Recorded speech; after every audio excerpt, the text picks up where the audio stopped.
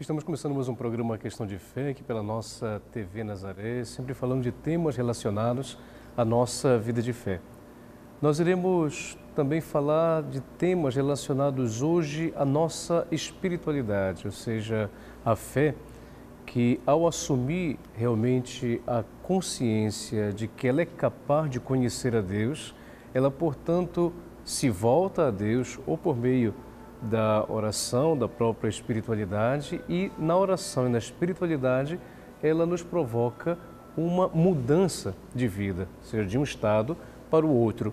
E geralmente nós chamamos isso de conversão. Nós iremos então hoje falar do que significa a conversão. Essa palavra conversão que muitas vezes nós escutamos na linguagem econômica, conversão monetária, está na própria linguagem dos sinais de trânsito, conversão à direita, conversão à esquerda. Porém, o que essa palavra conversão significa na nossa vida de fé, na nossa espiritualidade? Dos tempos litúrgicos da igreja, nós escutamos também esta palavra de uma maneira muito forte, que é o tempo da quaresma, o tempo do advento, o tempo da quaresma que nos prepara para a Páscoa do Senhor, a, a, o advento que nos prepara para o Natal do Senhor. E dessa forma, o que significa, portanto, meus irmãos e irmãs, a conversão? A conversão, meus irmãos e irmãs, significa para nós, então, numa ideia geral, uma passagem.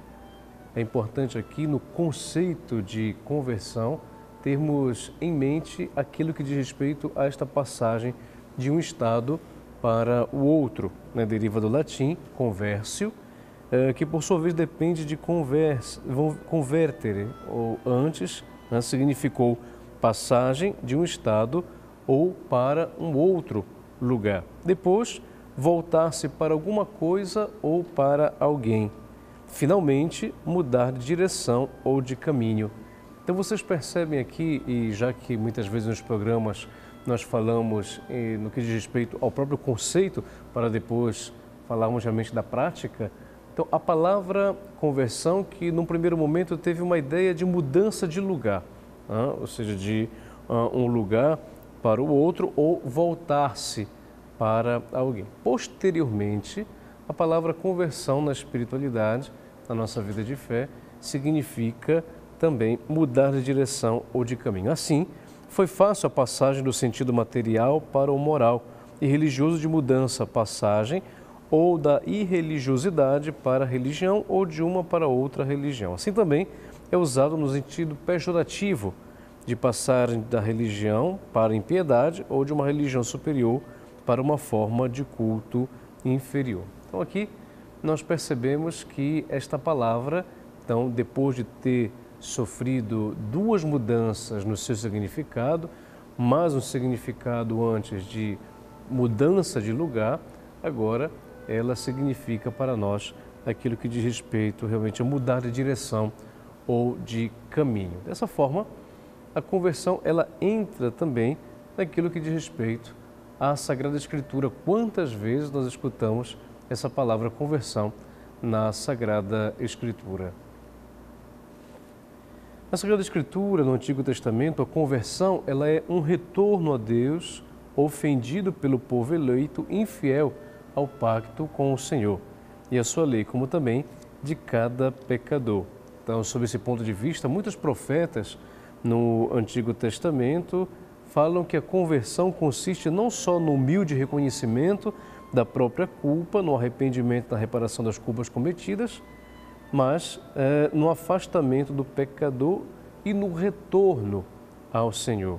Como indica também a correspondente palavra hebraica, sub, que quer dizer voltar-se, voltar-se novamente, retornar, ou ainda melhor, contrário ao que existia até ali. Logo, mudança de vida, conversão, isto é, mudança interior e sincera do comportamento e da vida. Então, no Antigo Testamento, nós percebemos que a palavra conversão aparece como este retorno a Deus ofendido pelos pecados do seu povo eleito. Nos profetas, então, isso vai realmente aparecer não somente no reconhecimento do pecado, mas no retorno a Ele. Né?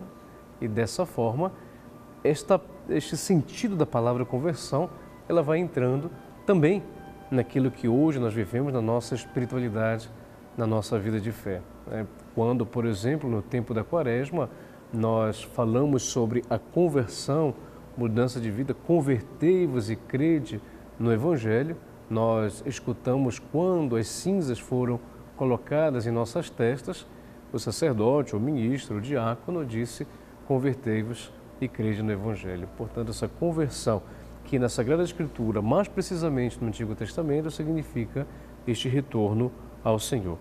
No Novo Testamento, retornam os dois aspectos da conversão: o negativo, de consciência humilde, confissão dos próprios pecados, de, de reparação e fuga deles, e o positivo de retorno confiante nos braços do Pai Celeste, sempre pronto a perdoar e acolher com alegria a ovelha perdida, o filho pródigo, de reconciliação, em suma, do pecador com Deus e de vida nova.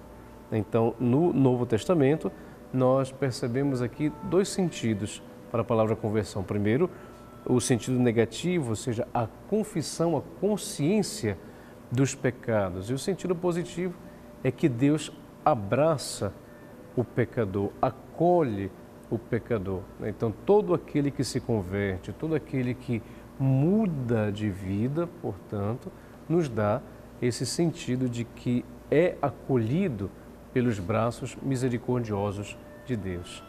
Portanto, tanto no Antigo Testamento como no Novo Testamento, percebemos que a palavra conversão sempre nos dá a ideia de um retorno, ou seja, de uma passagem, uma passagem para que de um estado de pecado você não só reconheça esses pecados, mas você tenha predisposição para poder fazer esta passagem de um estado para o outro. Porque insistentemente escutamos convertei-vos, convertei-vos.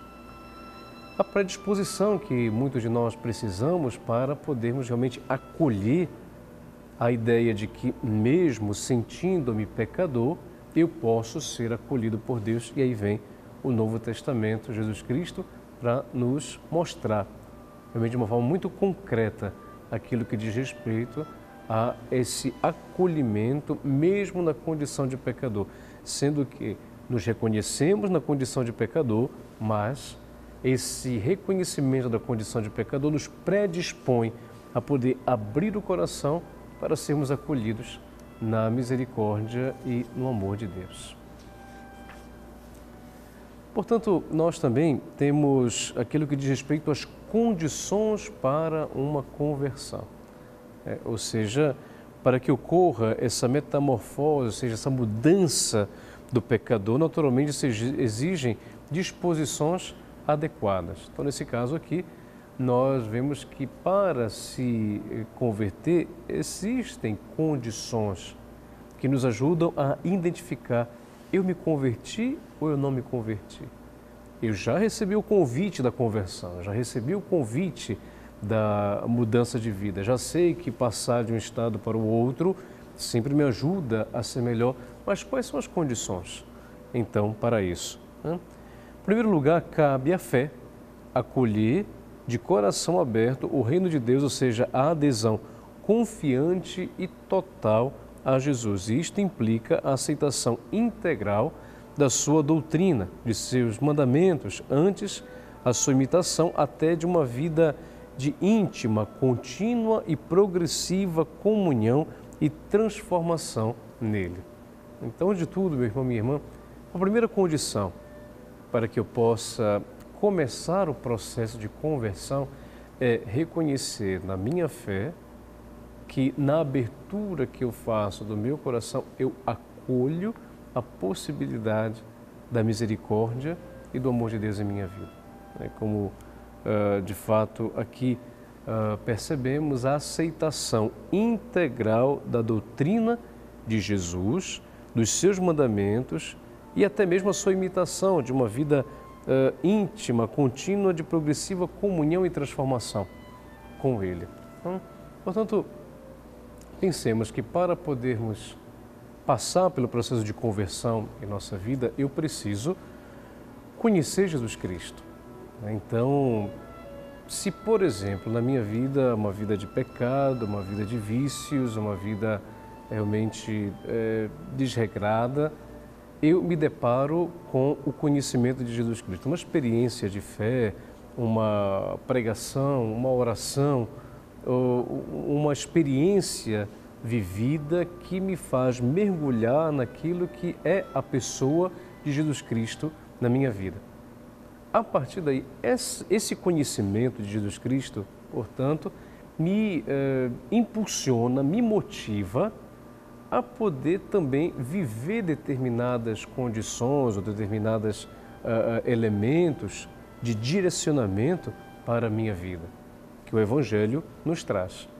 Agora, uma coisa é você conhecer a palavra, é conhecer Jesus Cristo, conhecer os seus ensinamentos, conhecer os seus mandamentos, e aí passa para uma segunda fase que é justamente de acolher tudo isso.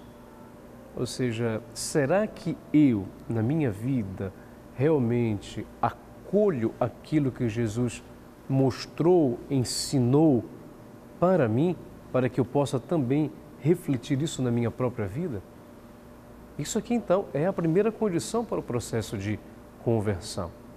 Então, para todos nós que queremos sempre procurar a conversão da nossa vida, uma coisa que pode nos ajudar muito a poder pensar se estou no caminho para a conversão é o conhecimento e a abertura de coração para os ensinamentos de Jesus Cristo. Isso, portanto, me faz entender já um primeiro passo para o processo da conversão. Além da fé, então, meus irmãos e irmãs, a conversão exige a retidão de vontade que faz amar e buscar o bem e a verdade quaisquer que sejam as consequências e os sacrifícios que daí derivem. A humildade que torna possível o reconhecimento sincero dos próprios pecados e a superação de muitos egoísmos, eh, vilânias e respeito humano. Finalmente, a docilidade aos convites de Deus, a sua luz, a sua graça, que não raro fala simplesmente através da voz da própria consciência. Então, um segundo passo para podermos entender que estamos no caminho da conversão, da mudança da nossa vida, é aquilo que chamamos de retidão de vontade. Vocês sabem que no processo de conversão, a partir do momento que nós conhecemos Jesus Cristo e aceitamos uh, viver os seus mandamentos ou procurar viver os seus mandamentos, os obstáculos começam a aparecer. É, não é fácil realmente você manter o foco. Eu sempre digo isso nas pregações, nas homilias ou nas espiritualidades, momentos de oração que fazemos na igreja, lá na paróquia, em comunidade, né, que quando você para, quando você fica em silêncio, começam a aparecer na sua mente distrações, situações, pessoas que acabam lhe tirando o foco da oração. E isso acontece não só na experiência de oração, mas acontece também no processo de conversão da nossa vida. Quanto de nós que já não falamos aquele ditado que todos, todos dizem, né? parece que quanto mais se reza, mais assombração aparece. Um ditado né, que foi criado, né, popular, esses ditados né, nos ajudam muito a poder entender qual é o sentido que eles querem dar a uma situação específica né, da nossa vida. E, pelo que me parece, essa expressão, ela nos ajuda a poder entender o quê? Que parece que quanto mais você entra no caminho de Deus, quanto mais você está na experiência profunda de Deus e do conhecimento dele na sua vida, o que, que acontece? Você muitas vezes é levado a poder sair desse caminho. Né? Então, o segundo passo, a segunda condição para a conversão da sua vida é a retidão de vontade, ou seja, é você, independente das dificuldades que aparecem na sua vida, você poder realmente manter o foco, você poder manter o direcionamento. E os questionamentos que aparecem na sua vida servem para que você possa purificar aprofundar, conhecer ainda mais aquilo que você já tem. Às vezes, no processo de conversão, que, provocam, que provoca em nós perguntas, é, se você não é direcionado, se você realmente não tem uma orientação, o que pode acontecer?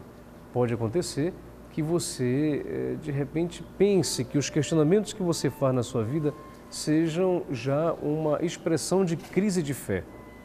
Ou, quem sabe, até mesmo muitos que consideram questionamentos sobre a fé e sobre a vida espiritual, ou a própria vida da igreja, um pecado. Mas para que seja considerado pecado, você deve ver a intenção com a qual você então faz esses questionamentos. Se os questionamentos que você faz têm a intenção de aprofundar e conhecer ainda mais aquilo que você está vivendo, não são pecados. Agora, se os questionamentos que você faz lhe levam a poder levantar realmente é, dúvidas em relação à fé, ou seja, aquilo que nós já temos em nossa doutrina, pode lhe levar ao pecado, porque pode lhe fazer voltar contra a igreja né, fundada por Jesus Cristo. E pela sua própria doutrina também, que não pode ser mudada. E dessa forma, então, os questionamentos que aparecem em nossa vida nos ajudam a poder entender o quê? Nos ajudam a entender que na, no processo de conversão da vida de cada um de nós, nós então, quando questionamos e procuramos aprofundar a fé, é para que nós possamos então realmente conhecer a Jesus Cristo. Por isso, a fé, então, na conversão que nós vivemos, exige uma retidão da nossa vontade. Essa retidão de vontade que significa o foco que devemos ter, independente dos, das dificuldades, dos desafios que nós vivemos em nossa vida. Mas também, meus irmãos e irmãs, melhor poderia ressaltar também aqui a cooperação da vontade humana livre com a graça de Deus. Né? A opção pessoal do ser humano e a primazia da iniciativa divina. Né? É claro que para nós podermos começar este caminho de conversão, é necessário nós olharmos para dentro de nós mesmos, termos o conhecimento de Deus e dos seus mandamentos, ter abertura de coração para isso, mantendo um foco, um direcionamento naquilo que eu estou vivendo, independente das dificuldades que eu vivo, mas é claro que eu também devo considerar que isso acontece quando na minha vida eu tenho certeza que Deus está cooperando comigo. Deus ele está presente, atuando e me dando força para que eu possa dar continuidade a esse projeto de conversão na minha vida. Nunca esquecer que se nós achamos que por nós mesmos conseguiremos, então nós não conseguiremos. Nós conseguimos a partir do momento em que, ao darmos abertura de coração a Deus, Ele vai nos conduzindo, Ele vai nos orientando naquilo que nós precisamos. Nós iremos para um breve intervalo e daqui a pouco nós voltaremos com o programa Questão de Fé falando sobre a conversão. Voltamos a apresentar o nosso programa Questão de Fé aqui pela nossa TV Nazaré, falando sobre conversão. Esta palavra que na espiritualidade e na vida de fé é muito presente para podermos entender a passagem daquilo que é o nosso estado de vida, do que éramos antes, para daquilo que nós vivemos depois a partir da experiência da profundidade do encontro com Jesus Cristo. Nós falávamos da ideia geral, que é conversão, a palavra conversão que antes né, era simplesmente a indicação de uma passagem de lugar para o outro, ou até mesmo quando você se voltava para o outro. No terceiro momento, a palavra conversão significa realmente esta mudança de estado, essa mudança uh, de vida, ou seja, daquilo que realmente para nós significa mudar a direção ou o caminho. Logo em seguida falávamos então das condições para uma conversão, para podermos entender o que, que a conversão significa na vida de cada um de nós. Né? A conversão que para nós então significa este, esta abertura primeiro né, de coração. Então a primeira condição para podermos na nossa vida entender e ver a conversão é realmente essa abertura, ou seja, a partir do momento em que a minha fé toca o conhecimento de Jesus Cristo, eu, portanto, me adequo aos seus ensinamentos, me adequo aos seus conselhos, me adequo, portanto, ao seu direcionamento. E a segunda uh, condição para a conversão é a retidão de vontade. É quando, diante das dificuldades que eu vivo da minha vida, a partir daquilo que eu me proponho a conhecer e a viver de Jesus Cristo, independente das dificuldades, dos obstáculos que aparecem, mas eu mantenho sempre o foco, mantenho sempre a retidão chamada retidão de vontade. Qual é a doutrina que a igreja eh, tem sobre a conversão? É claro que a palavra conversão nós vimos na Sagrada Escritura, tanto no Antigo Testamento, no Novo Testamento, tem sempre a ideia do retorno a Deus, ou seja, o reconhecimento dos pecados, e não só o reconhecimento dos pecados, o reconhecimento das faltas, mas também eh, aquilo que diz respeito à própria uh, acolhida da misericórdia, sentir-se acolhido por Deus, independente da situação de pecado, reconhecimento da situação de pecado, para que depois eu possa realmente receber esta misericórdia.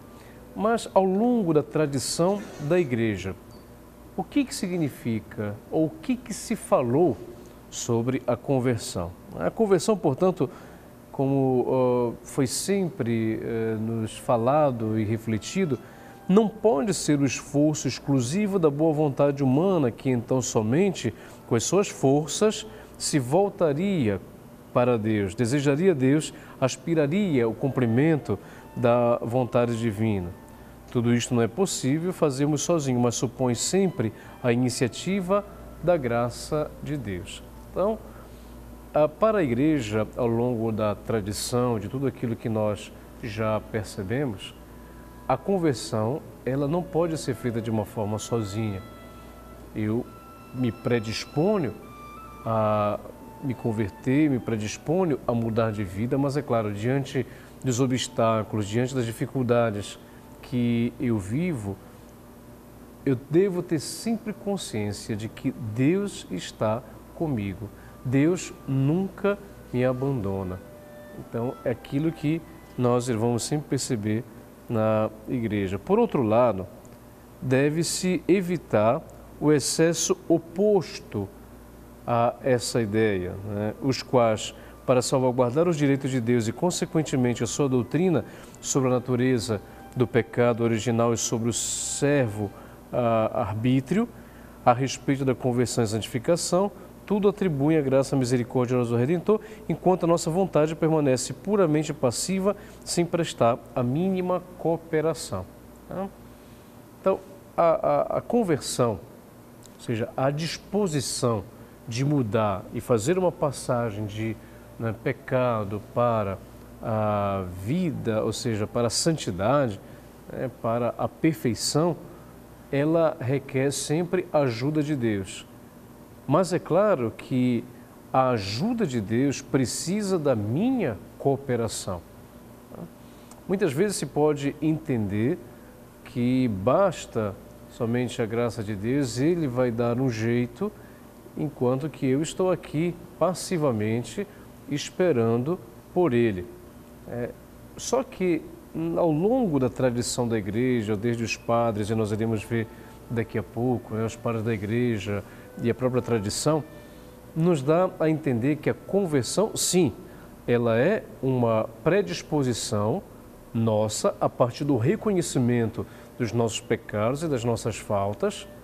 Porém, essa predisposição e abertura do meu coração faz com que na minha vida eu possa realmente entender que devo cooperar com Deus para a minha salvação. Ela está já uh, oferecida por meio da cruz de Jesus, do seu sangue derramado, da sua ressurreição. Mas eu preciso cooperar para que esta conversão seja uma realidade né, na minha própria vida. Então, significa dizer que contra muitas vezes esses erros que nós encontramos também ao longo da história da igreja, da vida da igreja, onde se fala que a, a, a cooperação humana, ou seja, a nossa a vontade humana, não influencia em nada, então, a partir dessas eh, dificuldades que nós tivemos, a igreja também teve oportunidade de poder sempre reforçar a ideia eh, do que diz respeito ao conceito verdadeiro né, de conversão. Quais foram essas dificuldades que fomos entendendo ao longo da vida sobre a conversão? Com esses erros que muitas vezes foram aparecendo de que a nossa vontade humana, ou seja, a nossa cooperação não influencia em nada naquilo que né, diz respeito à própria graça, Uh, o Concílio de Trento determinou a doutrina católica em seu decreto sobre a justificação né, que a conversão e a justificação do pecador é o resultado do influxo da graça que prevém de Deus. E a quem cabe a iniciativa juntamente com o concurso da vontade humana, que deve livremente colaborar e submeter-se aos impulsos da graça, a qual também pode resistir. Então, a doutrina da igreja é que a conversão é essa volta esse retorno a Deus, esse retorno aos ensinamentos de Jesus, procurar viver esses ensinamentos na minha vida para a salvação. Porém, a salvação precisa da cooperação da minha pessoa. Ah, é, me vem agora aqui, às vezes, eu uh, visualizo muito você que está em casa, né? às vezes nas, nas próprias, uh, talvez, imagens. Padre, às vezes, está né, tá muito teórico, tá, ou então está prático demais é preciso de um pouco mais de fundamentação. E aqui me vem agora uma imagem para poder talvez fazer comparação para você. Por exemplo, você que vai à missa, né? Hoje nós estamos numa, nós todos que vamos à missa, né? Nós que estamos na era dos aplicativos, vocês já sabem que por um aplicativo eu posso ter tudo em casa, não preciso mais sair. Né? Às vezes isso pode acontecer até mesmo na vida de fé. Por exemplo, bom, eu já fui salvo, eu já fui resgatado pelo sangue de Cristo, então para que ir à missa? Para que rezar? Basta que eu faça meus gestos de caridade, não faço mal a ninguém e, portanto, é até melhor estar em casa, porque se eu sair, vou acabar fazendo alguma coisa ou fazendo mal para alguém. Essa imagem própria que, ao longo da tradição da igreja, na história, nós infelizmente encontramos em relação à conversão. E daí vem o Concílio de Trento para poder nos dizer justamente isso. Ou seja, o Concílio de Trento uh, veio nos dizer, já em 1500, que dessa forma nós também cooperamos para que a graça de Deus possa agir em nós a partir da conversão. Né? É, a conversão e a justificação, portanto, do pecador é o resultado da graça que vem de Deus e a partir daí a quem cabe a iniciativa e juntamente o concurso, ou seja, a, a, a, a vivência da própria vontade humana que deve livremente colaborar e submeter-se aos impulsos da graça ao qual pode existir. Segundo a doutrina da igreja, portanto, a conversão é a passagem de um estado de ignorância, de erro, de desordem moral, mais ou menos grave, para o da graça, de luz, de adoção como filhos de Deus, que inclui a aceitação livre, plena e irrevogável do complexo dos dogmas e dos preceitos fixados por Deus pela sua revelação e, e propostos em seu nome pela autoridade inefável né, da Igreja. Então aqui nós percebemos o que, que nós, como católicos cristãos, tá? nós acreditamos em relação à conversão. Né? Ou seja, é a passagem de um estado de ignorância, de erro, de desordem moral mais ou menos grave para o da graça, adoção como filhos de Deus, que inclui a aceitação livre, plena e irrevogável da, dos dogmas, da doutrina, dos ensinamentos, de tudo aquilo que nós, portanto, vivemos de Jesus Cristo. Isso aqui significa né, é, esta resposta que a igreja, portanto, teve que dar a partir do Conselho de Trento, que nós até hoje acreditamos em relação à conversão. Portanto, lembremos, né, conversão, passagem né, de um estado para o outro. No Antigo Testamento, vemos que esta conversão se falava uh, justamente daquilo que era o reconhecimento dos pecados e a volta do pecador a Deus que se torna infiel com o pecado. Em Jesus Cristo, além do reconhecimento dos pecados, nós nos sentimos acolhidos por Deus.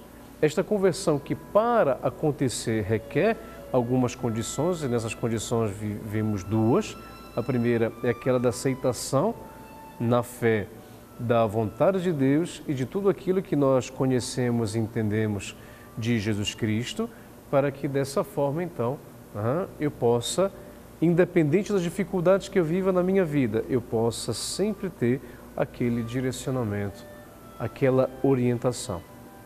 Assim, ao longo da história da igreja, nós fomos percebendo que, de fato, tudo que diz respeito à própria doutrina em relação à conversão, ela também foi entendida de uma forma errônea ou pode ser considerada uma forma errônea. Ou seja, qual é a parcela de contribuição, de acompanhamento de Deus na conversão que eu faço na minha vida? A primeira coisa que eu devo pensar ao refletir sobre a conversão é que a conversão não acontece se eu tento vivê-la de uma forma sozinha, de uma forma isolada. A conversão, ela é uma iniciativa de Deus, da qual, na liberdade do meu coração, me disponho a poder viver e aceitar de uma forma livre a graça de Deus na minha vida. Assim sendo, meus irmãos e irmãs, então a graça né, que nós recebemos né, de Deus ampara aquele que, portanto, vive o processo né, de conversão. E dessa forma, então vemos aqui que essa passagem só se realiza se atraídos e amparados pelo vigor da graça de Deus, porque não se realiza sem grandes sacrifícios e porque ele implica uma radical reviravolta de valores, uma visão completamente nova da vida, um comportamento perfeitamente conforme as palavras e aos exemplos de Cristo e, sobretudo, uma transposição da morte do pecado para a vida da graça, que é comunhão com o Pai, o Filho e o Espírito Santo. Por que a insistência é, da graça de Deus presente, que, por ser presente, nós nunca podemos ter um processo de conversão, uma vivência de conversão de uma forma sozinha, isolada, sem Deus. Porque a conversão da nossa vida ela vai fazer e provocar exigências na nossa vida. Ela vai provocar exigências.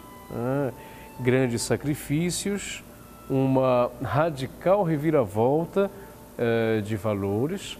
Ah, ou seja, aquilo que eu pensava antes, aquilo que eu penso hoje, a partir de Jesus Cristo, isso provocou uma mudança na minha vida. Não posso mais me conformar com aquilo que não me faz bem e que de repente passei a vida né, fazendo.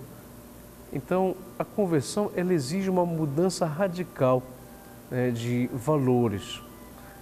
Essa mudança radical de valores que também se dá por meio dos sacrifícios né, me provoca um comportamento que deva ser perfeitamente conforme às palavras e aos ensinamentos né, de Jesus. Então, para isso, né, é necessário que realmente eu possa entender e preferir que a graça de Deus me acompanhe nesse processo de conversão. Dessa forma, então, nós é, podemos entender que a conversão ela é sempre algo que pode nos ajudar sempre mais a poder mergulhar na experiência profunda eh, de Jesus, a partir do que ele falou, a partir daquilo que são os seus ensinamentos. E agora, a partir do momento que eu falei da ideia geral de conversão, da ideia daquilo que é a conversão no Antigo e no Novo Testamento, as condições para que eu possa realmente ter uma conversão ou identificar a conversão da minha vida, fazendo um percurso histórico daquilo que é a doutrina da igreja sobre a conversão e a cooperação que nós podemos também com Deus fazer para que esta conversão seja uma realidade na minha vida, eu preciso entender então quais são as espécies de conversão que podem existir na vida de cada um de nós. É, primeiro, se verifica, conforme já citado, quando pela primeira vez se passa a fazer parte da igreja ou se abraça de uma forma livre e conscientemente a fé católica. Para que isso ocorra de uma forma serena, antes de tudo é necessário buscar uma conveniente disposição moral. Salvo raros milagres da graça, né? é, um orgulhoso, né? um coração apegado aos bens terrenos, não aceita a rígida moral evangélica, não se inclina docilmente às exigências da fé, cheio de mistérios, não se contenta com as riquezas espirituais e futuras, em suma, não se converte. Então, a conversão, para que eu possa entendê-la, é necessário realmente olhar o contexto da minha vida, para que, entendendo o contexto da minha vida, eu possa entender que tipo de conversão eu esteja vivendo. Levando em consideração essas dificuldades que nós falamos aqui, é necessário uh, para a conversão uma disposição uh, é, convenientemente, uma conveniente disposição moral. O que significa essa conveniente disposição moral? Para o processo de conversão, preciso também expressar nos meus comportamentos aquilo que realmente é a conversão, aquilo que realmente é a mudança de vida. Dessa forma, por exemplo, quando eu não me predisponho a isso, então o meu coração, apegado aos bens terrenos, o orgulho, não vai aceitar de forma alguma todas as propostas que a conversão pode fazer então na minha vida. Por outro lado, será necessário dispor a inteligência, levando em conta a diferente formação e grau de cultura de cada um, visto que não será fácil encontrar quem não tenha um acúmulo bem grande de erros para corrigir. Né? Então, isso aqui significa dizermos que dessa forma nós podemos em nossa vida, de fato, entender que para cada situação que eu vivo, eu posso então ter uma espécie de conversão, uma conversão de uma forma específica. Essa conversão, portanto, de forma específica, me faz entender as espécies né, que aqui na Magistério da Igreja, né, na própria tradição e história da Igreja são três, que é aqueles que nós iremos ver. Nós iremos por um breve intervalo e daqui a pouco voltaremos falando de conversão aqui no nosso programa Questão de Fé. Meus irmãos e irmãs, voltamos com o programa Questão de Fé falando sobre conversão. Né? Esta palavra que nos acompanha ao longo de nossa vida de fé, tanto na nossa caminhada espiritual. Nós escutamos essa palavra conversão, sobretudo no tempo da quaresma, tempo do advento, ou quando fazemos então uma experiência penitencial na qual a conversão é este nome que aparece constantemente. Nós vimos então que a conversão ela significa esta passagem né, de uma vida para a outra e, portanto, no Antigo Testamento e no Novo Testamento nós encontramos que a conversão sempre é o convite que se faz ao reconhecimento dos pecados e reconhecendo os pecados, eu me volto a Deus, me sentindo acolhido e abraçado por Ele pela sua misericórdia. Logo em seguida, nós vimos as condições para uh, esse processo de conversão da minha vida. Primeiro, a abertura do meu coração, ou seja, eu preciso abrir o coração para o conhecimento de Jesus Cristo. Não basta só conhecer Jesus Cristo, não basta conhecer os seus ensinamentos, mas eu preciso abrir meu coração, preciso me predispor para isso. E ao me predispor para a conversão, eu me predispor aos ensinamentos de Jesus Cristo, eu preciso, mesmo diante das dificuldades que eu vivo, poder ter uma retidão de vontade, ou seja, foco, poder me orientar, não perdendo de vista, mesmo diante das distrações ou das dificuldades espirituais ou morais da minha vida, eu manter sempre o foco na fé, manter sempre o foco no amor de Deus na sua misericórdia e na graça. A partir daí vemos o que a igreja entende por conversão hoje. E vimos então que um dos perigos que podemos ter de uma má interpretação da conversão é muitas vezes a insistência de que a cooperação humana não influencia em nada naquilo que diz respeito, então, à salvação que já nos foi dada né, por Deus. Então, o que a igreja nos ensina, a igreja católica? Que nós precisamos sempre cooperar com Deus. Ou seja, Ele nos deu a salvação, sim, mas essa salvação que requer uma potencialização a partir da liberdade do meu coração em poder aceitá-la na minha vida. E dava o exemplo, por exemplo, da missa, né? ou seja, hoje a gente tem tendência de tudo ter em casa e isso também poder até mesmo influenciar a nossa vida de fé. É, não, não preciso ir à missa, não preciso ter religião, não preciso acreditar em Deus, porque eu tenho a minha religião pessoal, eu tenho a minha vida, eu, tenho, eu não faço mal a ninguém. Né? Então, para que ter religião? Para que rezar ou orar? Ou para que né, ir para a igreja? Então, isso são muitas vezes reflexos de uma uh, dificuldade de entendimento em relação à cooperação da nossa vida em relação à graça que Deus me proporciona para a fortaleza, a capacidade de viver a conversão. Logo em seguida, eh, nós vimos então que temos várias formas de entender a conversão, chamadas de espécies né, de conversão. É, ou seja, é, muitas vezes, né, quando pela primeira vez se passa a fazer parte da igreja, ou seja, se abraça livre e conscientemente a fé católica, para que isso ocorra é necessário buscar uma conveniente disposição moral. Salvo raros milagres da graça, um sensual, um orgulhoso, um coração tenazmente apegado aos bens terrenos, não aceita a rígida moral evangélica, não se inclina docilmente às exigências da fé, cheia de mistérios, não se contenta com as riquezas espirituais e futuras e, por fim, não se converte. Tá? Então, é bastante categórico o ensinamento de Jesus em suas parábolas, nas quais nos dá uma descrição clássica da essência né, da conversão, especialmente nas núpcias e mais ainda né, no tesouro, uh, a parábola do tesouro e da pérola. Né?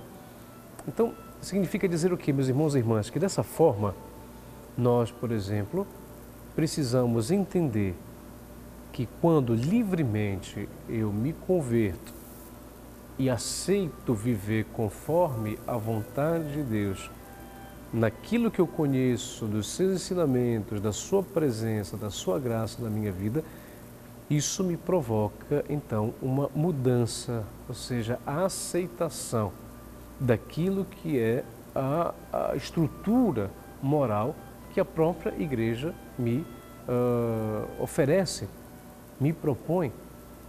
Se eu tenho um coração apegado, um coração orgulhoso, né, um coração que realmente não é capaz de poder renunciar, então aqui a conversão nunca irá acontecer. Porque a conversão, quando vivida na minha vida, me dá a capacidade de poder saber o que são as virtudes, saber vivê-las e não só ficar apegado às dificuldades de você poder viver a virtude, até mesmo a incapacidade de achar que não pode ser santo. Não. Se você é, acha que é incapaz de ser santo, se você acha que é incapaz de ser perfeito, se você acha que não tem capacidade para poder realmente viver as coisas de Deus, é porque, quem sabe, aqui a conversão precisa de um estágio precedente que é ainda a abertura do seu coração para tudo aquilo que você vive. Ah, é, realmente, para que a gente possa entender que somos capazes de podermos ser perfeitos, de podermos ser santos, eu preciso viver a experiência do desapego, a experiência profunda da misericórdia e do amor de Deus, então, na minha vida. Logo em seguida, eh, nós vemos também que as dificuldades morais, intelectuais, que algumas vezes também sentimentais, instintivas contra a conversão, faz que tenhamos a experiência sofrida por tantos convertidos que descreveram suas longas e dolorosas tragédias íntimas antes de chegar às alegrias da fé. Um deles escreveu, por exemplo, não posso dizer com Santo Agostinho que eu cresci de alegria, mas sim que eu cresço de vergonha porque vejo que lutava não contra a fé dos católicos, mas contra as contrafações que dela fazia a minha fantasia. Né? Um pensador convertido ateu, convertido ao cristianismo, chamado Stone, né? que falava justamente isso. Né? Não posso dizer com Santo Agostinho que eu cresci de alegria, mas sim que cresci de vergonha, porque vejo que lutava não contra a fé dos católicos, mas contra as confratações, contrafações que dela fazia a minha fantasia. Tá? Ou seja, às vezes nós criticamos, às vezes temos os nossos posicionamentos que são importantes, se fala de liberdade de expressão e realmente temos esse direito da liberdade de expressão. Mas essa liberdade de expressão que em determinados momentos se tornam como slogans de ideologias prefixadas que se fecham muitas vezes ao diálogo para entender melhor o que você está criticando. É, isso então aqui atenta contra a liberdade de expressão.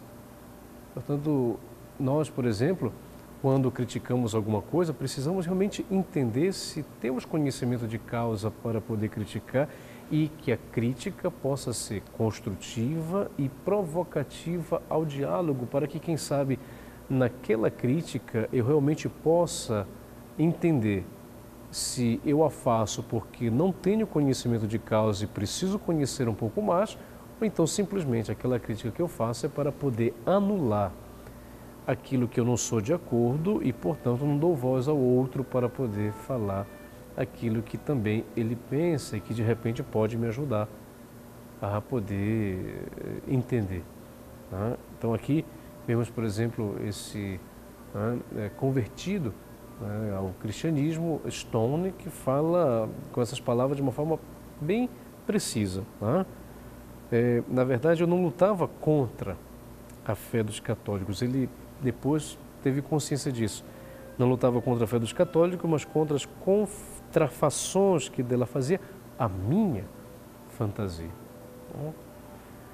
A segunda espécie de conversão é aquela de quem retorna à fé após tê-la deixado. É, podem ser das mais variadas naturezas os motivos que levam a deixar a fé e depois retornar é, a ela. Geralmente deixa-se a fé somente por razões fúteis, só por leviandade, negligência, às vezes, porém por grandes desafios morais e intelectuais. O retorno normalmente é mais ou menos fácil, segundo a gravidade das razões do abandono. É sumamente importante lembrar que sempre será possível recuperar a fé perdida, porque Deus jamais abandona completamente os pecadores.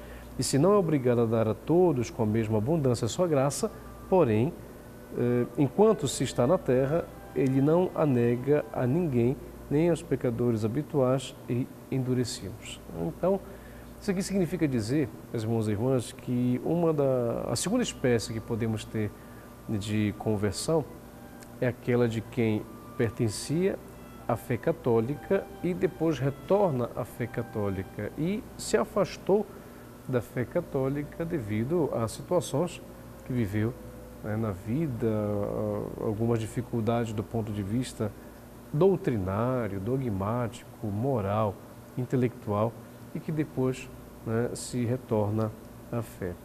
Lembrando que é sempre possível recuperar né, a fé perdida e Deus jamais abandona né, os seus pecador, o, o, pecador e se não é obrigado a dar a todos com a mesma abundância sua graça, por enquanto se está na terra, ele não a nega a ninguém. Né? Não a nega a ninguém. Então, dessa forma, meus irmãos e irmãs, vimos que a conversão é esse processo bonito que podemos ter para empreendermos um caminho de vivência concreta, profunda e existencial de tudo aquilo que eu conheço de Deus na minha vida e que eu possa transmitir aos outros. Dessa forma, então, que a conversão seja uma realidade constante na vida de cada um de nós, todos nós passamos por esse processo de conversão que não tem fim. Né? Todos os dias eu sou chamado a me converter de alguma coisa, de me deparar com a palavra de Deus, de me deparar com a doutrina da igreja, de tudo aquilo que ela me ensina para que eu possa dar uma resposta cotidiana na minha vida. Queremos pedir a Deus que possa nos dar a força de pedir a conversão constante do coração a partir daquilo que eu entendo do Evangelho. E que o Senhor vos abençoe, em nome do Pai, do Filho e do Espírito Santo. Amém.